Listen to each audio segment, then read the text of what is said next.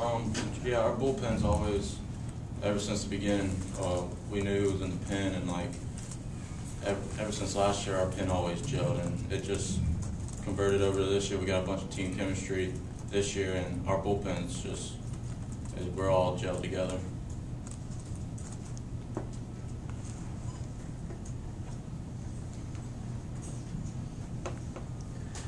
Matt, Coach, Coach Tanner mentioned that um, your name is a potential Sunday starter uh, at some point. I mean, how do you feel about that? And do you feel like the bullpen is at a point right now to where you could move into the starting rotation without it losing a step down there?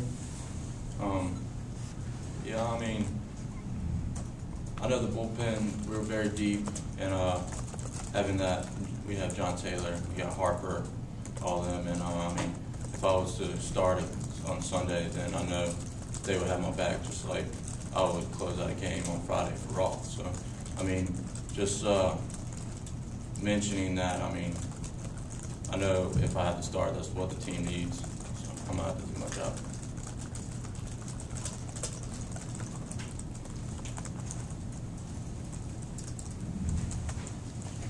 It was happening while you were in the game, but I was wondering if you could shed some light on what the golf game is in the bullpen when they're kind of. Do you know much about that? Yeah. Um, and why do they do it? I mean, during the game still.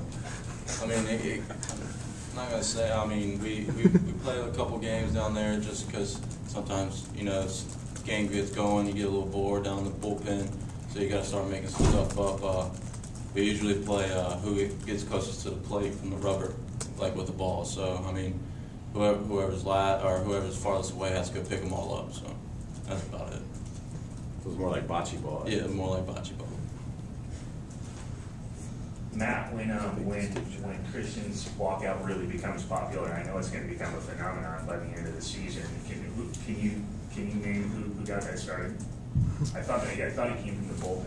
No, um, I think Roth got it started, and you know Roth, so. Uh, but him and uh, him and uh, Walker and uh, Morales had two songs we were all always moving our hands and stuff like that. But Walker's really started getting the crowd involved. So once he changed, he changed it today, and you didn't see nobody. But once he changed it back, the whole crowd was involved. So it was it was good.